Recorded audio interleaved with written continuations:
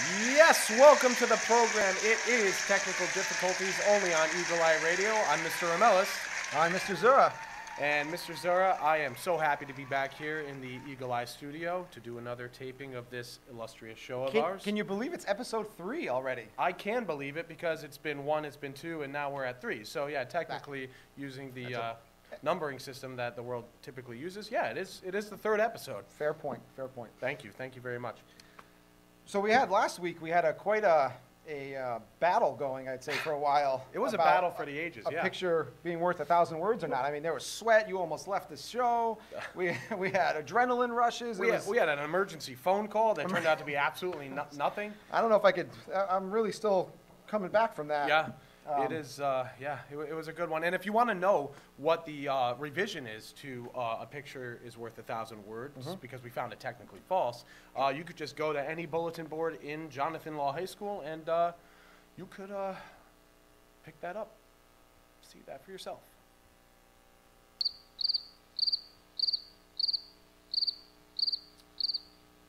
So beautiful day out Oh, there today, it's a huh? wonderful day. Yeah, just a beautiful autumn day, and there's uh, A little cold? Yeah, yeah, a little cold. There's a lot of uh, foliage going on. There's a little bit of uh, you know, I mean, uh, a chill in the air. I'm really feeling like we're getting into the fall. Just beautiful. I mean, you would agree that season. it's, it's beautiful, right? I think we both see today the same way. Absolutely. Can you? Well, well, no. What do you mean, no? Actually, I mean, it is to me, but I don't know if everybody would find it to be beautiful. I mean, I like a nice crisp fall day, but there are some people who are more, you know, summer people. They like beach weather. So, So what I think I hear you saying is that is, is beauty in the eye of the beholder? Is that what you're saying? I personally uh, am not sure, and I think that's uh, what we're going to be chatting about today. make a great episode today. I think. Well, then, there it is. Almost like we planned that. Oh boy, Off the cuff here on! Technical difficulties. that's the name of the show. So, whoa, oh, we oh. are in lockstep Woo! today. All right. Beauty is in the eye of the beholder. Is it though? Yeah, I think initially it's it's pretty, um, I don't know, obvious that you would. It's kind of an opinion, right? I think it's beautiful. You do. I don't. Someone else may. It seems agreeable, but I got to tell you, there are some people who, you know, this goes right back to last week's Perfect. episode. I love how we could tie it all in, where we say a picture is worth a thousand words. We were talking about uh, a, a Jackson Pollock painting, right? And how some people find it nice looking, some people find it atrocious looking. Now, what do you, what do you you were say on the that? you were on the atrocious end of that argument, by the way. I was on the atrocious end. I think- yeah. believe you said it was like I a put down a four-year-old classical child artist. yeah. spilled paint all over the place or something. Yeah. Um, Well, he's not a classical artist. He's a classic artist. Uh, okay, Sure. but anyway. Well, why don't we start, if we're going to dig into this here, because I think, again, on the surface, this seems somewhat simple, um, but we like to give things their due diligence here, and we like to go the extra mile and really, you know, solve these things for you guys to make sure it's not just, you know, it's good to research, good to inquire, um, and to dig deep. So first of all, starting with a simple definition of beauty Sure. that I, that I have here, um, it says, this is dictionary.com, um, a combination of qualities such as shape, color, or form that pleases the aesthetic senses, especially the sight. Oh, okay. Now, what I find interesting about this is the fact that it, it does refer to the sight. Because you, if we get into beauty, is, there's a lot of different things, right? Yep. We could talk about physical appearance. Sure. We could talk about artistic appearance, Mhm. and then you could get into people uh, beauty on the inside. Ooh. But that def- I know You that can't- definition though really sort of negates beauty is a surface, um, a visual thing. This definition is saying. We have five senses. Some of us have six, but I won't get into that. That's for our next Halloween episode next year. But it does truly negate the fact, and by the way, I want to say as a disclaimer, I am completely neutral on this position. I purposely have not thought about this one too much. Sure. I mean, you and I have talked about it a little bit before the show, Right. but I. We like I- to be authentic on the show Yeah, as much so as possible. you may hear me uh, waffling back and forth on this one today. I am not out for blood the way I I, was waffles, last by the week. way. Oh, I'm starving. So good. Anyway, so delicious. That's inappropriate. Um, but I really do think you're bringing up a, a key point. It doesn't negate the other uh, uh, the other senses. So uh, you could hear beautiful music. Is beauty in the ear of the beholder? Uh, you could uh, I don't know. You could feel sand Sure. um, on the beach, and it feels beautiful. Like is that is beauty in the touch of the beholder, uh, so on and so forth. But by definition, it, it should be only sight. So I think we need to exclude though, I, I think beauty, I think people use beauty to describe those things, which is perfectly understandable and everyone knows what you mean when you're saying, oh, that, that sound is beautiful. But by definition, that's not what beauty is. So I think we need to stick to the, the visual of ah. beauty, because I think beauty, there must be other adjectives you're supposed to use when you're thinking of the feel of sand or the sound of music. So I'm, I'm gonna kind of take a hard line here, I think. And definition of beauty is particularly sight. This is fascinating, Mr. Zuraw, because I feel like you and I can get on the same page here, but you're actually putting up a roadblock before we actually even debate the actual Right. uh, the, the actual phrase or saying I today. am. I, and and listen, I'm a musician, all right, and as I'm, I'm a a teacher. I'm a teacher first. Oh, okay. Uh, what are we just doing? Naming occupations? I'm a fireman. Um, I was bringing that up for a purpose. Um, I'm a musician, and I, I, I got to tell you, it really it hurts my inner being Mm-hmm. to say that I'm not allowed to call music beautiful. Oh, that that's that's that string uh, sim, uh, se- section. I sound like such a great musician, right? My that string section uh, uh, played so beautifully in the orchestra. Um, how how am I supposed to go through life? What, do I have to say? It was so audibly beautiful, which is just a lie anyway, so it just cancels out. I am not here to, to discourage or, or disparage your music career. I know. I am also not the author of Webster's Dictionary or dictionary.com. So I- just was trying to get us on the same starting point before we even get into this phrase. And I'm not here to criticize your tie, but I think it's ugly. Uh, another, I'm sorry. another- I got petty and childish. I'm sorry. I'm sorry about that. Let's get Always back to the point. Yeah, right. yeah. The So definition of beauty. Go ahead. Uh, well, uh, okay, let's, let's put that aside. And if we want to, for now, let's, because I think this may end up taking us somewhere else anyway. So let's, we could. like an hour into. Like, uh, yeah, fourth this is going to be a while. Uh, my next period class, just report to the auditorium because I'm not going to be there. Um, there is, so let's, all right, let's try to move past that, that definition for a second. So if we, if we, if this phrase is correct, then what we are saying is that beauty is uh, an opinion. Uh, I think that's what the phrase is saying. Yeah, that's, that's all I Yeah, said. yeah, The yeah, phrase is saying beauty is right. opinion. So you say that picture is beautiful, this day is beautiful, that uh, person, okay, that is Yeah, beautiful. Yeah. So there's many, many, many studies that have been done Ah. that don't actually uh, agree to that and would say that there is, um, I don't know what I'm looking for, a genetic disposition or there is um, uh, a, a symmetry to particularly people's faces. There are certain rate, they actually call it the golden ratio. Oh, wow. um, of, of proportion. There's been all studies done of people giving, uh, seeing different varieties of faces and different, and, and almost, I, I, I mean, I, obviously I didn't look at every study and we don't have time to review these. We're just gonna have to Well, then you can them. hardly cite the data. And, well, we're gonna, for the purposes of the show, we're gonna assume that, you know, uni- the University of Sure. San Diego and all these other places had done legitimate mm-hmm. studies. Let's, we'll give them mm-hmm. that credit. And time and time again, All right.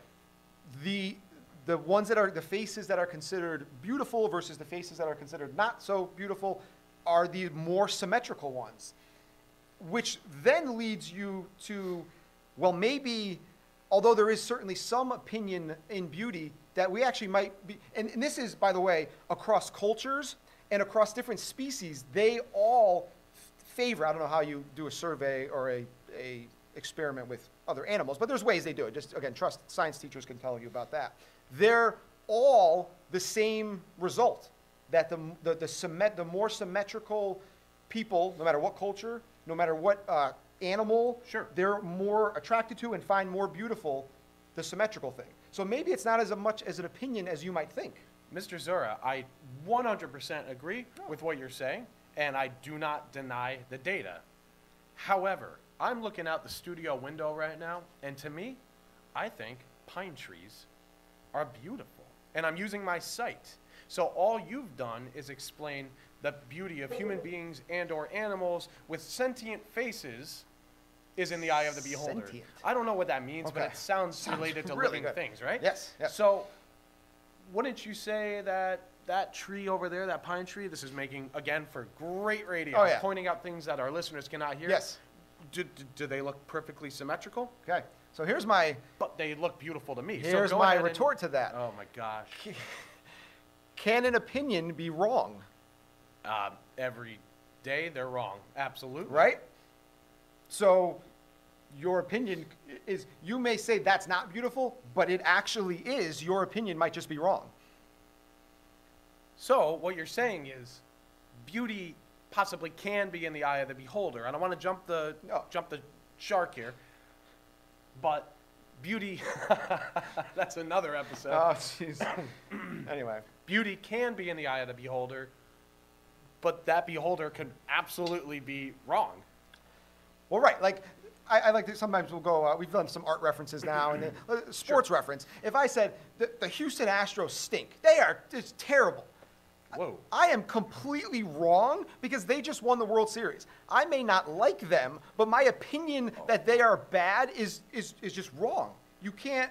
I can have that opinion. Everyone's entitled to their opinion, but that is a false opinion. Yeah, but you're talking about something with measurable data. Like they're clearly not bad because they won so many games. Sure. But I'm saying that that pine tree, though that tree line over there, which is not in any by any means symmetrical, it's actually completely jumbled, right? Mm-hmm, mm-hmm. I just happen to find it beautiful. By the way, some people might think that colors. Go ahead and explain symmetry for color. That blue is more beautiful than red.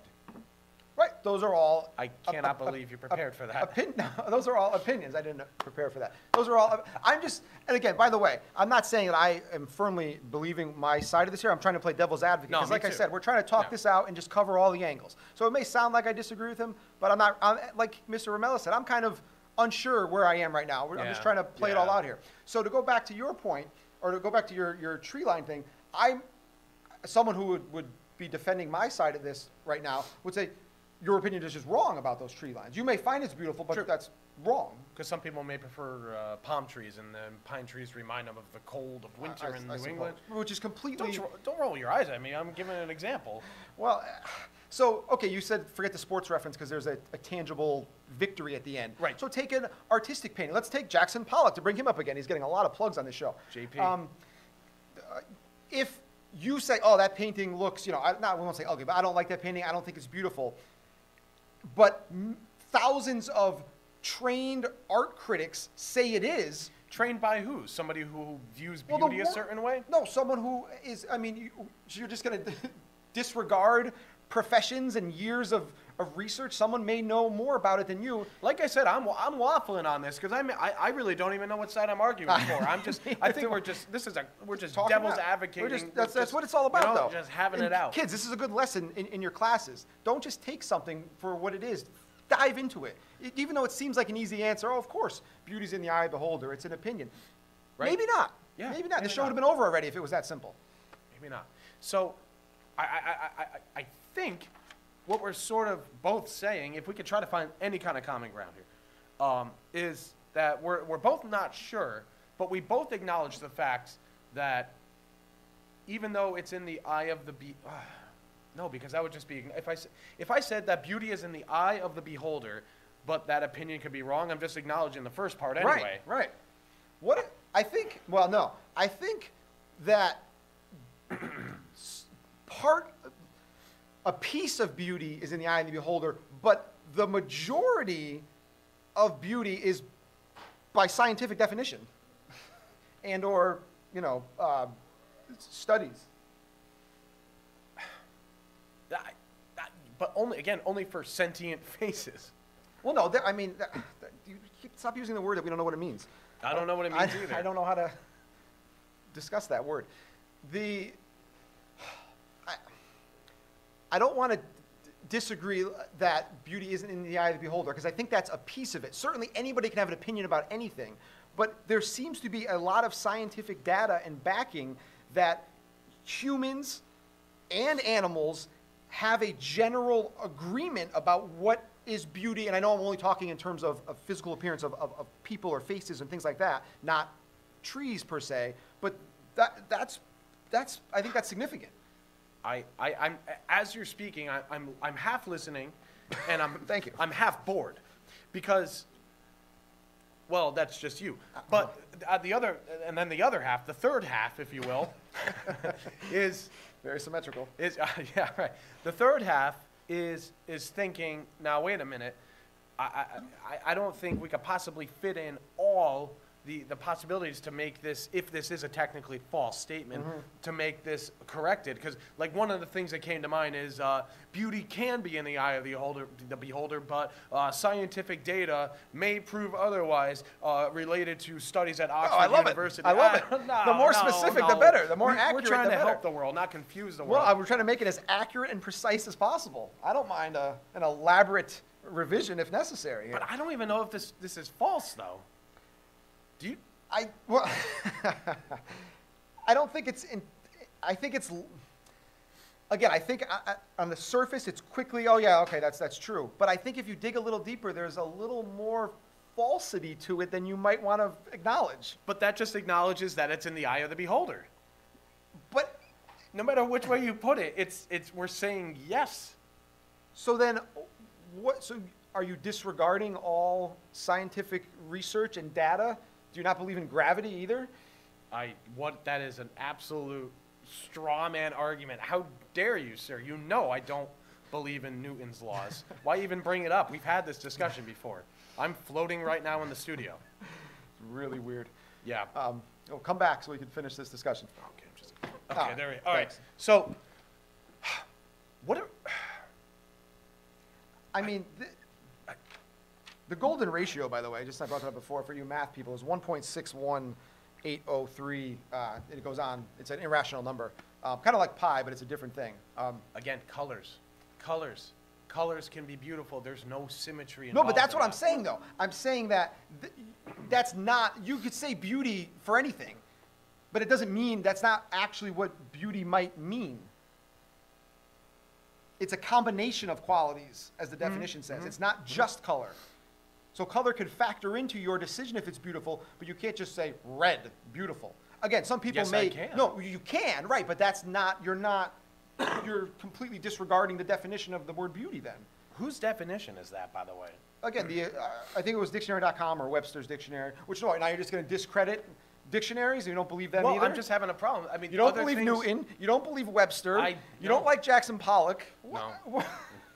you don't like me right now. That's true, but I, I, I, I listen. I, I'm, I'm having a real problem with this one. As am I.